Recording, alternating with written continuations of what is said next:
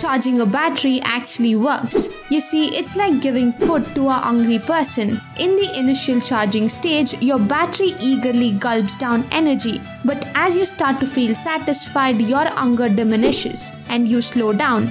The same way, the battery also takes more time to charge. Sharpen your brain by following.